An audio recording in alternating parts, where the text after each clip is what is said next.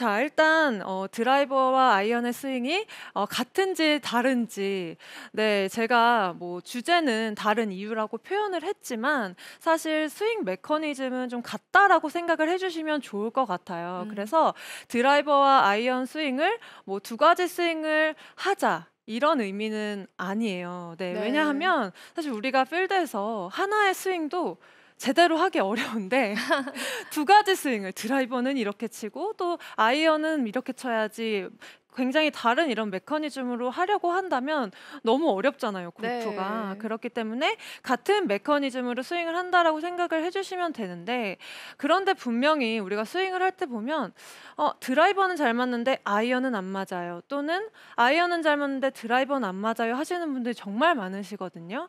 근데 이렇게 스윙을 같이 하더라도 사실 좀 스윙이 다른 느낌으로 돼야 하기 때문에 이런 고민을 갖고 계신 분들이 많다라고 저는 가장 먼저 말씀을 드리고 싶어요. 음. 그래서 제가 이렇게 일단 두 가지 클럽을 다 들고 나왔는데 이 부분을 여러분들께 조금 이해를 시켜드리기 위해서 지금 두 클럽을 같이 들고 제가 좀 보여드리려고 해요.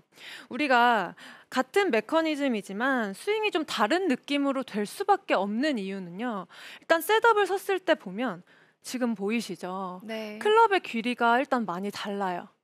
그렇기 때문에 물론 볼위치도 다르고 여러 가지 부분이 좀 다르지만 지금 보시면 클럽의 길이가 다르고 그리고 지금 제가 어드레스를 한 모습을 보면 어, 클럽의 기울기가 이렇게 다른 걸 볼 수가 있어요. 음. 지금 잘 보이시죠? 네. 그러면 여기에서 우리가 같은 스윙, 같은 느낌으로 스윙을 한다라고 해도 지금 제가 takeaway를 이 클럽의 기울기에 맞게 한번 들어볼게요. 자, 일단 아이언이고요. 그리고 드라이버입니다. 음. 네, 이렇게 저는 똑같은 느낌으로 들지만 사실 지금 정면에서 보시는 것처럼 아크도 다를 수밖에 없어요. 지금 다시 한번 보여드리면 아이언보다 드라이버가 훨씬 아크가 당연히 크겠죠. 네. 길이가 길기 때문에 이런 takeaway를 가지고 우리가 백스윙 탑까지 간다라고 하면 지금 다시 한번 보여드리면 아이언 그리고 이번에는 드라이버. 어. 어, 지금 확실히 보이실 것 같은데 다시 한번요. 드라이버 그리고 아이언 아이언. 네, 저는 음. 같은 느낌으로 분명히 스윙을 하지만 분명히 스윙의 아크 그리고 궤도까지 달라질 수 있다라는 거를 저는 말씀을 드리고 싶어요. 제가 한번 샷을 먼저 하면서 보여드릴게요. 제 백스윙의 아크가 어떻게 다른지 또 백스윙 탑 포지션은 어떤지 한번 보시면 좋을 것 같은데요.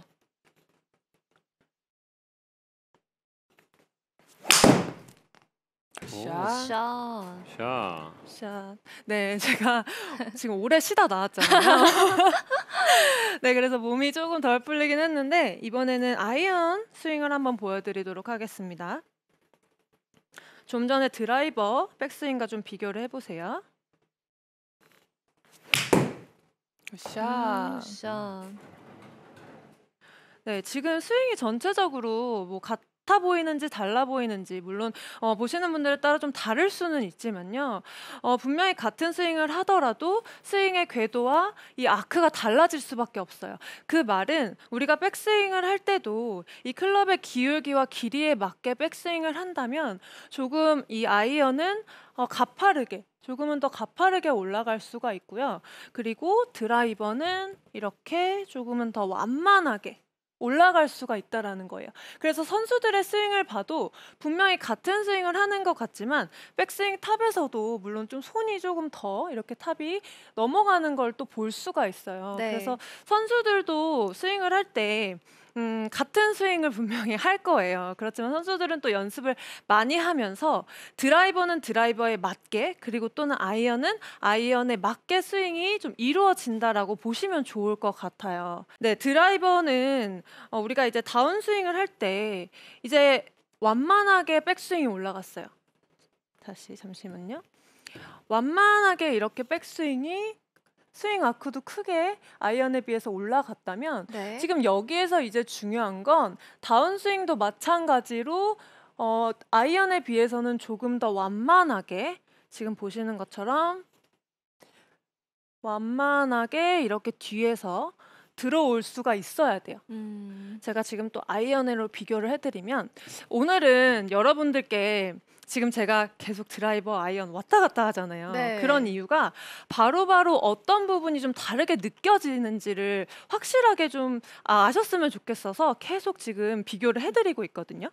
그러면 아이언은 백스윙 탑에서 어, 드라이버에 비해서는 이 백스윙 아크처럼 다운스윙 아크도 드라이버에 비해서는 조금은 가파르게 네. 이렇게 들어오는 스윙을 해야 된다라는 거예요. 여기까지는 좀 이해가 잘 되셨을까요? 네. 네, 그러면 네 여기까지 이해가 되시는 게 정말 중요한데 많은 분들께서 지금 이 부분이 잘 이루어지지가 않고 있기 때문에 드라이버만 안 맞고 또는 아이언이 안 맞고 있다라고 생각을 해주시면 될 것 같아요. 그래서 드라이버랑 아이언이 둘 다 잘 치시는 분들은요, 지금 제가 설명드린 것처럼 백스윙이 올라간 궤도나 아크 그대로 다운스윙도 이루어지고 있기 때문에 두 가지 모두 지금 잘 치고 계신 거예요. 네. 네, 그런 분들은 정말 잘하고 계신 건데, 어, 지금 다운스윙에서 그러면 내가 어떤 부분 때문에 아이언이 안 맞고 있는지 먼저 설명을 드릴 텐데, 아이언 같은 경우에는 우리가 다운스윙을 했을 때 좀 전에 설명드린 것처럼 백스윙의 아크 그대로 조금은 드라이버보다 가파르게 들어와야 돼요. 음. 지금 보이시겠죠? 그러면 다시 한번 보여드리면 가파르게요. 그러면 여기에서 여러분들께서 유심히 보셔야 되는 게 제 오른손의 동작이에요.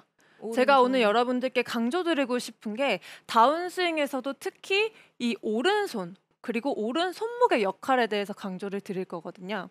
지금 보시면 아이언 같은 경우에는 지금 오른 손목, 오른 손목의 각이 임팩트 때 어떻게 되는지 한번 보시면 지금 어떨까요? 네, 손목의 각이 그대로 네. 유지가 되면서 임팩트 지점까지 오는 걸 볼 수가 있어요. 제가 이 느낌으로 샷을 한번 해볼게요. 그대로 각이 유지가 되면서 음. 굿샷. 굿샷. 오른쪽 손목이 유지된다. 네. 지금 어, 오른쪽 손목이 유지가 돼야지만 아이언 같은 경우에는 우리가 많이 얘기하는 다운 블로의 임팩트를 만들기 위해서는 이렇게 오른 손목의 각이 이렇게 임팩트 순간까지 유지가 되는 게 굉장히 중요한데요. 아이언이 안 맞는다 하시는 분들의 가장 특, 큰 특징을 제가 정말 어. 유심히 많이 살펴봤는데 그런 분들은 대부분 백스윙이 올라간 아크보다요. 지금 다운스윙에서 손목의 각이 오른 손목 각이 유지가 되지 못하고 뒤에서 많이 풀리세요. 음. 그러면 지금 제가 보여드린 것처럼 제대로 들어온다면 아크가 오히려 더 좀 좁아지면서 들어오거든요. 네. 다운스윙 아크가. 그런데 이렇게 아이언이 안 맞는 분들은 대부분 백스윙보다 다운스윙 이 아크가 훨씬 커지시는 걸 볼 수가 있어요. 아. 그 이유는 지금 제 오른 손목의 움직임이 완전히 달라요.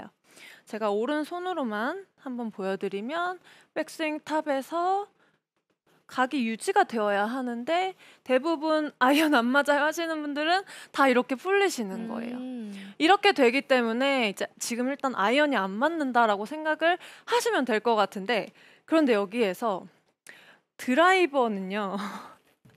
제가 다시 또 바쁘네요. 드라이버를 했습니다. 근데 지금 제가 바로 비교를 정말 해드리고 싶은 게 여기에서 지금 아이언처럼 만약에 손목이 이렇게 풀렸어요. 그러면 드라이버는 아이언에 비해서 잘 맞을 수 있을까요? 안 맞을까요? 어 맞을 것 같아요. 아 진짜요? 네. 뭔가 좀? 자신이 없으신 것 같은데 네 아이언 같은 경우에는 뒤에서 손목이 풀리는 게 어떻게 보면 가장 큰 미스샷을 유발하는 그런 동작 우리가 흔히 얘기하는 캐스팅 동작인데요 이 동작이 드라이버에서는 손목이 이렇게 뒤에서 풀리면은 그래도 괜찮게 맞아요. 어. 네, 이런 부분이 좀 다르다라고 생각을 하시면 돼요.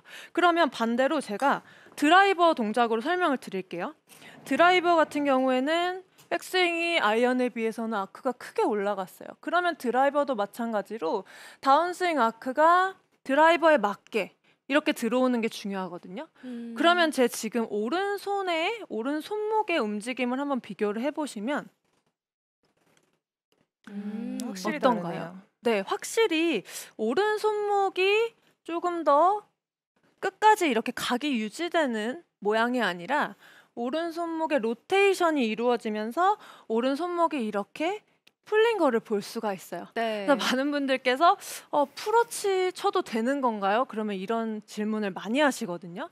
근데 드라이버 같은 경우에는 뒤에서 아이언에는 어떻게 보면 치명적인 동작이 뒤에서 풀리는 건데 음. 드라이버는 이렇게 뒤에서 풀리는 게 오히려 괜찮을 수가 있어요. 반대로 드라이버는 아이언처럼 손목을 그대로 우리가 끌고 와요. 네. 그러면 아이언에는 너무 좋은 동작인데 드라이버 같은 경우에는 망하죠. 네. 드라이버는 제가 사실 이런 표현을 잘 쓰진 않는데 네. 정말 드라이버 때문에 고민하시는 분들 동작을 보면 너무 이렇게 잘 끌고 오세요. 어. 그래서 지금 제가 다시 한번 보여드리면서 가- 백스윙 가서 정말 잘 끌고 왔어요. 음. 근데 지금 제 아크를 보시면 확실히 좁아지지 네. 않나요? 드라이버는 우리가 뒤에서 완만하게 쳐줘야 상향 타격도 이루어지게 되는데 어, 많은 분들께서 아이언처럼 너무 끌고 오기 때문에 지금 내가 드라이버가 안 맞는다라고 음. 생각을 하시면 될 것 같아요. 그래서 제가 두 가지를 비교를 해드리면 올해 일단 오른손 제가 좀 푸는 느낌으로 드라이버에 맞게 쳐볼게요. 샷. 샷. 어.